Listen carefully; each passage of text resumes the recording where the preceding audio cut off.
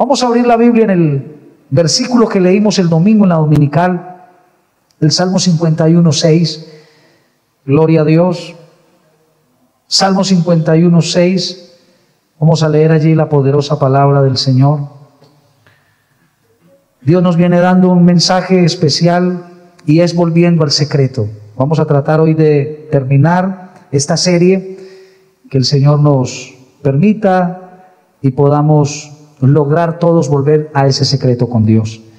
He aquí tú amas la verdad en lo íntimo y en lo secreto me has hecho comprender sabiduría. Amén. Siéntese, por favor. Vamos a estar muy atentos al consejo de Dios. Y qué bueno saludar a todos los amigos que nos visitan esta noche. Una alegría tenerles con nosotros, a las familias de la iglesia. Por ahí veo a mi amigo, el hermano Freddy, hermana Eliana. Qué bueno saludarles después de tanto tiempo. Y, y qué bueno disfrutar del Señor.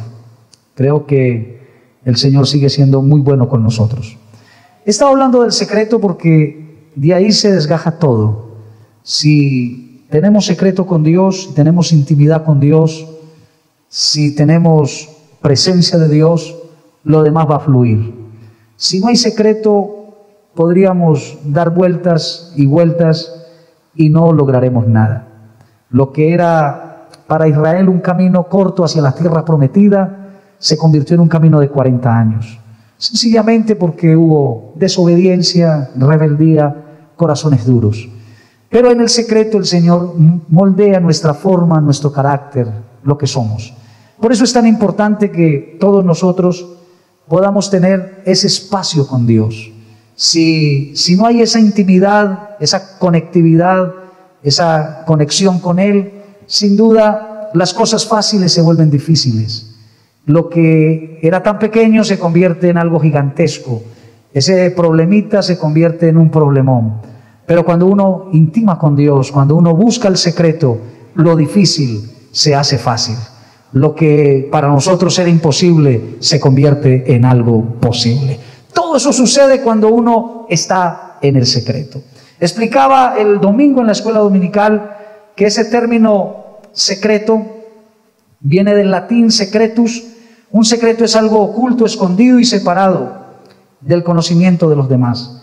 El secreto, por lo tanto, es ignorado por la mayoría de las personas, excepto por aquellas que comparten el mismo pensamiento. Eh, quiero hablar de eso, hermano, porque es algo muy personal muy íntimo, muy de cada quien. Eh, yo puedo querer mucho a mis hijos, amarlos demasiado, pero el secreto con Dios es cada uno con Él. Mm, yo quisiera meterlos allá, orar por ellos, pero una cosa es la oración que yo hago por ellos y otra cosa es la oración que ellos hacen al Señor. El secreto determina nuestra vida. De verdad, cuando uno llega a ese secreto cansado, sale liviano. Cuando uno llega en problemado, los problemas se organizan en el secreto. Siempre he estado diciendo que el Señor sigue siendo el mismo de todos los tiempos. Pero lógicamente, si nos aislamos, si nos distanciamos, va a ser todo más difícil. Pero a la medida que estemos más cerca de Él, las cosas serán más llevaderas. Estábamos explicando el domingo la situación de Jacob que Jacob sencillamente el panorama para él es gris, difícil, porque obtuvo una, una bendición de la manera equivocada. Lo expliqué hasta la saciedad el domingo, que viene de una cuna, de, viene del linaje, viene de una familia de promesa, pero su mamá, Rebeca, en el afán de que obtuviera la bendición, hizo las cosas como no tenía que hacerlas falta de secreto. Engañaron al viejo Isaac, eh, él ya sus ojos oscurecían y sencillamente Jacob consiguió algo que no le sirvió para mucho. Hay cosas que se consiguen de momento, que lo sacan a uno del instante, pero que en el camino se van a deteriorar. Pero cuando las cosas las da Dios, no hay quien las acabe. Cuando las cosas vienen de Dios, eso permanece para siempre. Estaba eh, pensando en eso que Jacob eh, recuerda la enseñanza de su abuelo, la enseñanza de su papá, y eso lo llevó a replantear cosas. Y qué lindo que esta noche podamos replantear cosas. Él decide un día quedarse solo con Dios, solo con Él. Ni con la esposa, ni con los hijos, ni con nadie, solo con Él. Hay momentos en la vida de que tenemos que separarnos de todo el mundo y encerrarnos solo con Dios. Allí a veces el lenguaje, a veces las palabras se quedan cortas y hasta, yo diría, el lenguaje cambia, porque ya no es mi argumento, a veces son solo lágrimas, me ha pasado muchas veces, y, uno no puede decir nada, pero ese lenguaje de las lágrimas lo entiende el Señor. Ese lenguaje cuando uno como que todo se seca, pero Dios está allí y cuando uno no dice mucho, pero Él tiene mucho que enseñarle a uno, hermano, el panorama cambia sustancialmente. Por eso yo le invito esta noche a tomar la determinación de Jacob. Jacob se quedó solo con Dios. Fue una noche, quizás eh, para muchos la vigilia a veces eh, cuesta, las horas como que no pasan, el reloj como que no avanza. Pero a veces una noche charlando, dialogando con personas, se va rapidito, porque siempre cuesta lo de Dios. Jacob se quedó esa noche, se fue rápido para él y ciertamente el ángel le dice, suéltame que raya el alma. Ya está amaneciendo, pero él quiere lograr su objetivo. Y qué lindo que esta noche podamos lograr nuestro objetivo en Dios. A veces oramos por costumbrismo, por, por las formas que se han construido en nosotros, pero el secreto es más que una oración de labios hacia afuera. El secreto es la oportunidad de un encuentro con Dios realmente. Porque a veces tiramos oraciones y decimos cosas, es más, tenemos formatos de oración. Ya sabemos qué vamos a decir desde que nos arrodillamos hasta que nos paramos. Y de alguna manera nos volvemos religiosos. Porque el religioso repite oraciones y el Señor no quiere esa repetición de cosas. El secreto nos lleva a profundizar más en ese lenguaje con Dios. Y Jacob empezó a hablar y a decir lo que nunca programó. Pero Jacob dice, Señor, no te soltaré hasta que no me bendigas. La situación de él era crítica. ¿Por qué? Porque su hermano lo está esperando abajo para matarlo. O sea que cuando descienda eh, parece que Jacob está viviendo el último momento de la vida, pero lo está catalizando, lo está aprovechando al máximo, se está quedando con el dueño de todas las cosas y le dice, no te soltaré hasta que no me bendigas. Ya no quiero la bendición del viejo, yo quiero la bendición tuya, Señor. Esa bendición me va a abrir caminos en medio del desierto. Yo no sé cuántos quieran esa bendición en esta noche, por favor, que puedan gritar, amén, todas sus fuerzas. Aleluya. A ver si ese aplauso es para el Señor. Dáselo bien fuerte. Aleluya. Aleluya. Aleluya. Jacob se quedó allí en el secreto con Dios. Se quedó solito. Usted trae un amigo. Usted trae un hijo, un enfermo. Pero al secreto solo entra él, nadie más. Escúchame esta noche. Porque si bien es cierto, usted lucha para que el paralítico llegue a donde está Jesús, pero al final lo descuelga si él queda solo con él. No tiene nada que decirle. ¿Qué le dice el paralítico al Señor? Nada. Pero el Señor sabe todas las cosas. A veces le damos vueltas en la cama, nos tapamos con la almohada, a veces lloramos, nos metemos al baño, no sabemos qué hacer con esa situación y nos olvidamos que la solución está tan cerca de nosotros, tan cerquitica. A veces pensamos y nos damos vueltas cuál será eh, eh, la persona que me recomienden para que me saque de esta situación, cuál será el especialista que me va a atender y, y nos vamos olvidando de lo que en ese ambiente espiritual hay. Pero yo quiero decirle que aunque no, quizás nunca tengamos la facilidad o la oportunidad de que el mejor de los especialistas nos atienda en un rincón de la casa, en un rincón allá en la sala, en ese cuarto quizás que nadie visita, allá nos encerramos con Dios y hablamos con Él. Y cuando la gloria desciende, los caminos se nos abren para todos nosotros. Jacob entendió eso y en la montaña se quedó con Él. No te soltaré hasta que no me bendigas. ¿Cómo te llamas?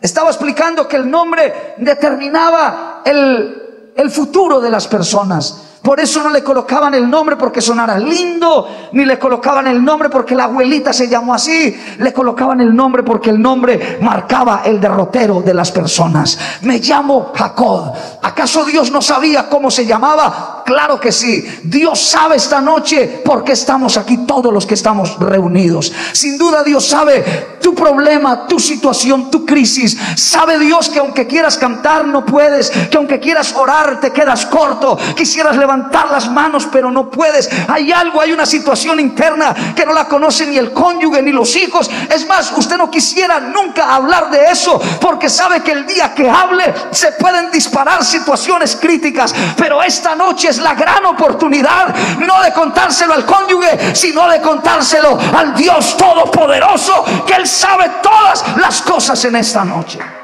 Cree que si estás en pie es porque eres muy inteligente, muy capaz, porque es tu habilidad, tu condición de vida. No, no, es que Dios ha sido muy bueno contigo y preparó esta noche especial para ti y para mí.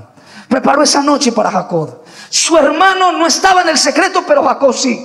Su hermano estaba esperando el armamento, estaba esperando el momento de verlo para acabarlo. Pero mientras Dios le estaba cuadrando la vida a Jacob, este hermano se estaba llenando de algo diferente. Es posible que usted tenga enemigos, personas que quieran encontrárselo a usted, personas que quizás quieran acabar con lo que usted es. Pero esta noche, mientras estamos en este auditorio, Dios puede estar cuadrando cosas afuera.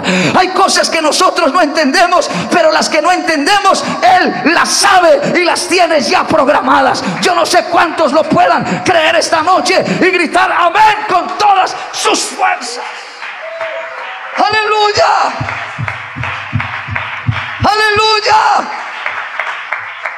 No te vas a llamar más Jacob. Jacob significa usurpador y ladrón. O sea que el nombre determina el destino de las personas. Y parece que Jacob está determinado a eso. Engañó, usurpó, usurpó una primogenitura que no le correspondía, usurpó una bendición que no le correspondía, porque eso no era para él, eso era para su hermano Esaú, pero él usurpó. Escuche, pero se da cuenta en el correr de los años que eso no es lo correcto, que lo correcto viene de Dios. Yo no sé cuántos años lleves haciendo las cosas como no son. Quizás nadie sepa, pero llevas años actuando de la manera equivocada. Pero esta noche el Señor quiere que nos sincronicemos con Él. ¿Cómo te llamas?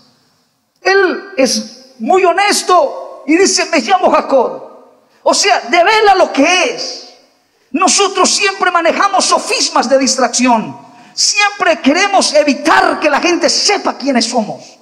Siempre todos manejamos un manto, nos cubrimos con algo tratando de que nadie descubra quién realmente somos. Pero esta noche delante de Dios todos estamos aquí al desnudo. El Señor conoce los pensamientos más íntimos. El Señor sabe cuántos cabellos hay en tu cabeza. El Señor sabe si hay comida en tu casa o no. El Señor sabe cómo está tu cuenta bancaria. Quizás no tengas ni con qué pagarles a los empleados la nómina de este mes, pero no importa.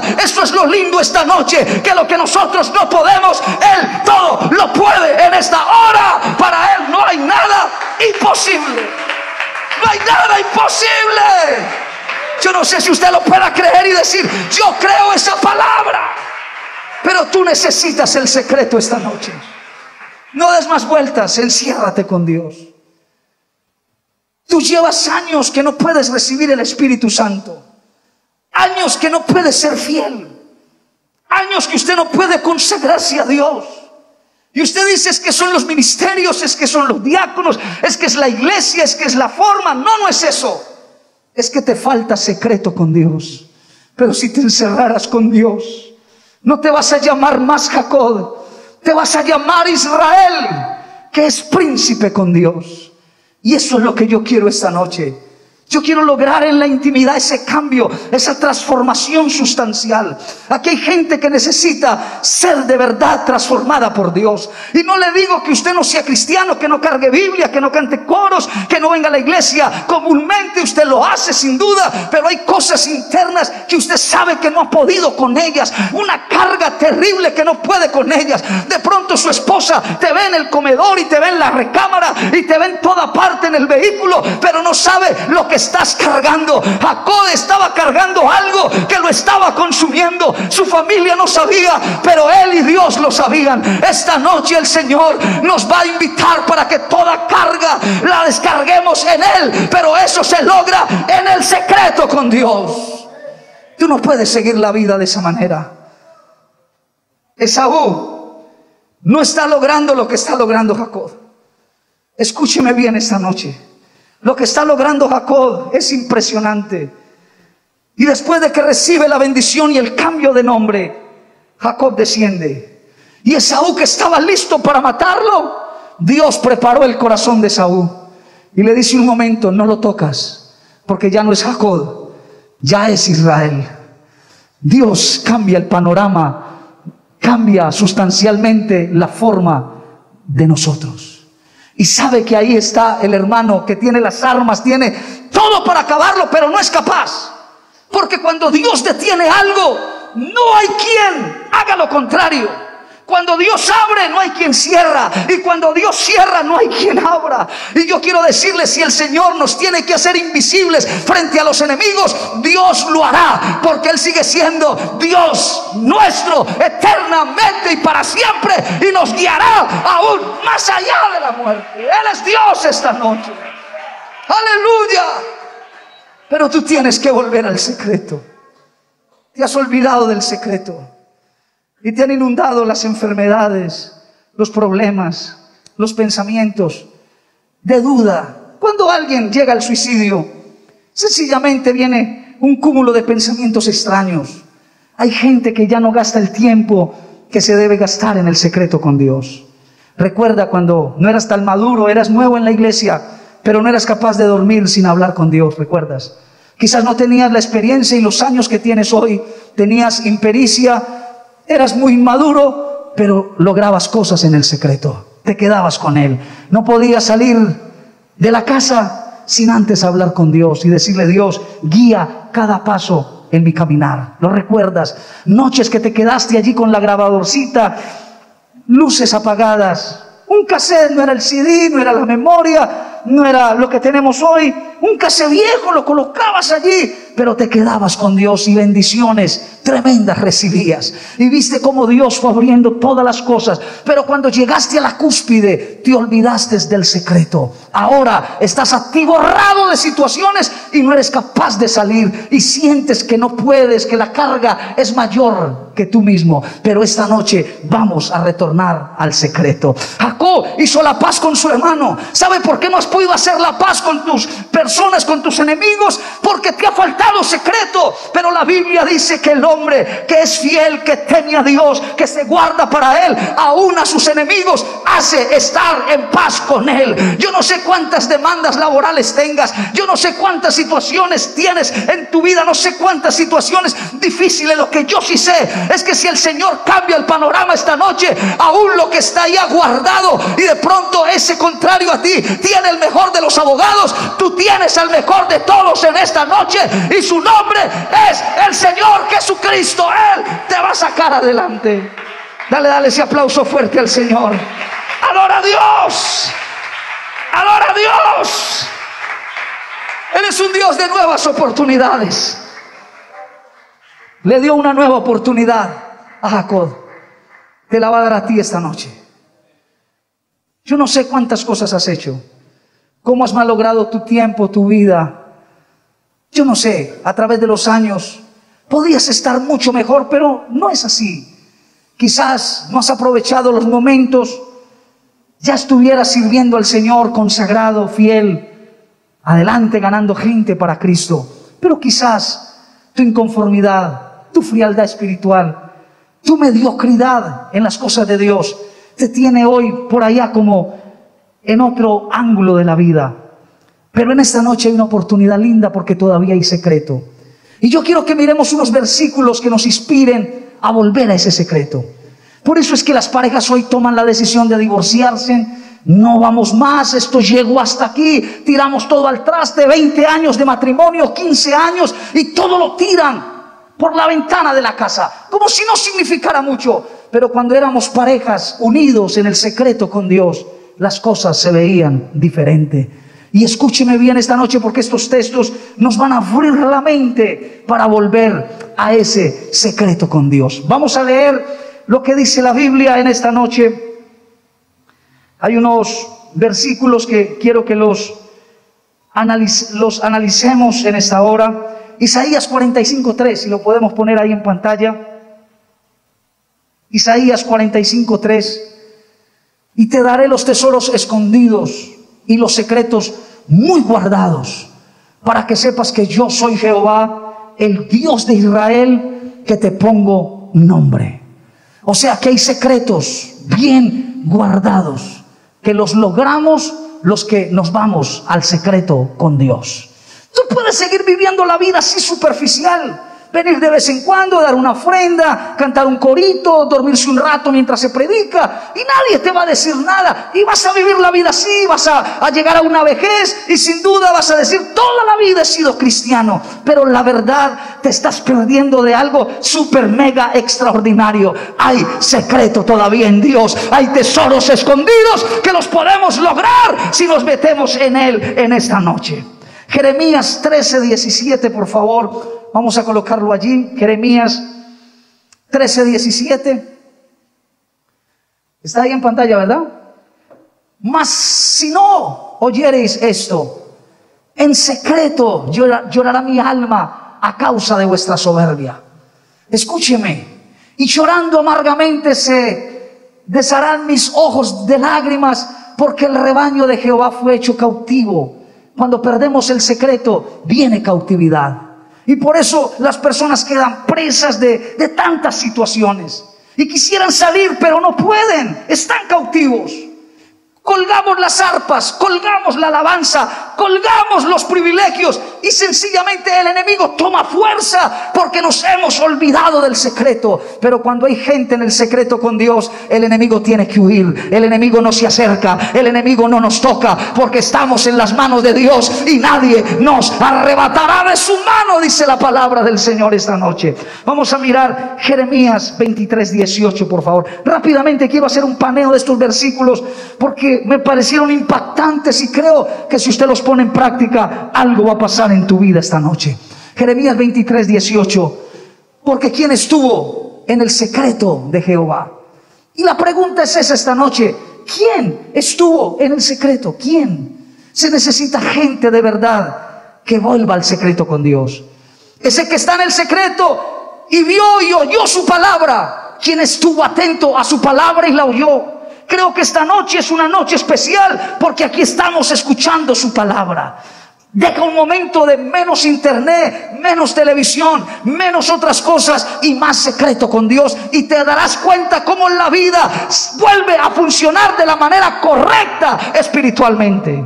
Pero claro, nos vamos saturando y saturando y saturando de cosas que no convienen y lo de Dios está siendo aparte. Es más, hay gente que dice, voy al culto cuando me quede tiempo. Si me queda. Y si no me llaman hasta mejor. Hay gente feliz con la pandemia porque dicen, gracias a Dios, no tengo que ir cada rato. Pero la gente de secreto no piensa así. La gente de secreto anhela estar en la casa de Dios todos los días de su vida. Yo no sé si aquí hay gente de secreto esta noche que diga, wow, yo quiero la presencia de Dios. Alguien, alguien que lo aplaude y que diga yo, yo quiero secreto. A ver, yo, yo quiero secreto con Dios porque ahí Dios me habla. Ahí escucho la palabra. Ahí Dios me aconseja. Dice la Biblia en Amós 3.7. Amós 3.7. Vamos a ponerlo allí un momento. Porque no habrá nada. Porque no hará nada Jehová el Señor. Sin que revele su secreto a sus siervos los profetas. No hará nada. Pero ¿cómo lo hará si no hay quien le busque en el secreto? ¿Cuántas cosas Dios ha querido decirte? Por eso repito, si estás hoy como estás enredado, no ha sido culpa de Dios, ha sido tu culpa. Te has olvidado de un lugar especial donde te encuentras con Él cada mañana, cada tarde, cada noche, cada día ahí está esperándote con los brazos abiertos. Dios quiere decirnos algo en este tiempo, pero nos hemos olvidado del secreto. A ver qué dice Mateo 6.4, por favor. Mateo 6.4. Allí hay algo también especial. Para que sea tu limosna en secreto y tu Padre, escuche, que ve en lo secreto, te recompensará en público. Necesitamos gente que se meta con Dios. Gente que diga, sí Señor, estoy derrotado, estoy caído. Contigo, Señor, te he fallado. He ofendido tu nombre. He hecho cosas que transgreden tus estatutos. Señor, pero estoy aquí en tu secreto. Señor, si algo puedes hacer, hazlo. Y David tuvo la experiencia. Y David tiene que decir, en lo secreto, me has hecho comprender sabiduría. Lo que no entiendes afuera, lo entenderás en el secreto con Dios. Él siempre habla a tiempo.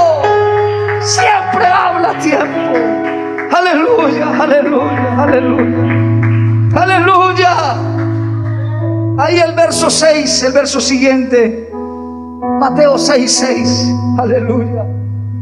Mas tú cuando ores, entra en tu aposento y cerrada la puerta, ora a tu Padre que está en secreto. Y tu Padre que ve lo secreto te recompensará en público. ¿Quieres cosas grandes? Escóndete en el secreto con Dios. Enciérrate con Él. ¿Quieres unción? En el secreto hay. ¿Quieres Espíritu Santo? En el secreto hay. ¿Quieres gloria de Dios? En el secreto hay. ¿Quieres libertad para adorarle? En el secreto hay. ¿Quieres poder para servirle? En el secreto hay. ¿Quieres unción fresca? En el secreto hay. Y como decían los abuelos, cuando uno le van a dar, le guardan y le calientan. Pues yo quiero decirle, en la alacena de Dios está abastecida, está llena. Se necesitan personas que se escondan en su secreto esta noche. Oh, aleluya. Aleluya. Último texto está en Mateo 6, verso 18. Ahí en ese secreto necesitamos lograr esto. Para no mostrar a los hombres que ayunas, sino a tu Padre que está en secreto. Y tu Padre, vuelve el texto a ser repetitivo. Y tu Padre que ve en lo secreto, vuelve y muestra en público. Dios te va a dar una gracia, una unción un poder tan especial. Mucha gente va a correr a ti. Te lo repito esta noche, mucha gente va a correr a ti. Te van a buscar desahuciados, gente al borde de la locura, gente a punto de quitarse la vida. ¿Sabe por qué? Porque tú has estado en el secreto con Dios y en el secreto has estado sacando la unción, el poder que esos enfermos, que esos oprimidos, que esos cautivos necesitan. Por eso cuando estés en el secreto y te llamen a orar por alguien, no sientas miedo, porque lo que hiciste en el secreto, Dios lo recompensará en público, pero al final la gloria no es para nosotros, la gloria es para Él solamente. Por eso necesitamos retornar, retornar a ese secreto con Dios. Se llega caído, pero salimos de pie. Entramos enfermos, salimos sanos. Entramos con deudas, salimos libres. Necesitamos gente de secreto. Yo no sé si usted quiera dejar pasar la oportunidad, pero Jacob dijo, no más, hasta aquí esta es la noche que me quedo solo con Dios. Quiero mucho a mi mamá, mi papá, mis hermanos. Quiero mucho mi cónyuge. Me hacen mucha falta, pero hay momentos que tengo que quedarme solo con Él. Le voy a invitar que estén de pie, por favor, esta noche. Quizás el tiempo se ha ido, pero creo que Dios nos va a entregar una, nos está entregando una palabra que necesitamos. Aquí hay gente que necesita quedarse con Dios esta noche. Cuando hablo de esta noche, de este momento, no sigas más como vas. Si sigues la vida así, seguro se lo digo, si Jacob no se queda con Dios en el secreto, Esaú lo mata, se lo come vivo. Es un hombre de fuerza, acaba con él. Escuche, ¿sabe que le libró la vida a Jacob? Quedarse en el secreto con Dios. Hoy el Señor le va a librar la vida a alguien. situaciones críticas se van a arreglar aquí esta noche. En un altar de esto es tan sencillo, pero aquí, aquí el Señor ha sanado gente de cáncer. La leucemia se ha ido. El Señor aquí ha hecho milagros extraordinarios y todavía creo que Él lo puede hacer esta noche. No siga más a la intemperie. Apóyate en el secreto de Dios esta noche. Yo quisiera orar por alguien, alguien que hoy quiera retornar a ese secreto. Señor, antes yo era más fluido, antes hablaba más de ti, antes Señor tenía más libertad, antes me sentía mejor contigo. Señor, era una alegría alabar, era una alegría servir, era una alegría venir a la iglesia. Yo me alegré con los que me decían, a la casa de Jehová iremos, pero la pereza ha consumido mi vida y no es otra cosa, sino que paso semanas, quincenas, a veces hasta meses, donde no tengo momentos especiales contigo. Pero esta noche retorno como Jacob, retorno al secreto. Retorno a ese lugar, Señor, donde no debo de salirme nunca, porque allí es donde tú me enseñas. Allí es donde tú me hablas. Allí es donde tú me inspiras. Allí es donde me das la herramienta que necesito para salir adelante. Allí, Señor, usted hace huir a mis enemigos. Alguien que necesite secreto, yo le voy a invitar esta noche. Es un momento lindo es una noche de oportunidad. Que si la, si la aprovechamos, algo va a pasar. Pastor, yo no sé qué hacer con mi familia. No sé qué camino coger. Estoy que me vuelvo loca o loco. Estoy, estoy desesperado. No sé qué hacer ya. Les he hablado por las buenas, les he hablado por las malas, he dicho cosas hasta incoherentes. Señor, nada surte. Pero si esta noche retornaras al secreto y hablaras con Dios, y le pidieras dirección y le dijeras, Señor, ¿qué es lo que tú quieres? Hay tesoros escondidos. Hay cosas grandes ahí, Señor. ¿Qué es lo que quieres? Si te quedas afuera, la arrogancia va a seguir imponiéndose en tu vida. La prepotencia. Eso no te permitirá quebrar. No te va a permitir entrar al secreto. Porque si algo detesta a Dios es eso, la arrogancia, la petulancia. A ese corazón orgulloso, prepotente, Dios lo resiste. Pero Dios da gracia a los humildes. Cuando digo, Señor, yo ya no puedo, ayúdame, dame tu mano. Los que estuvieron en la conexión.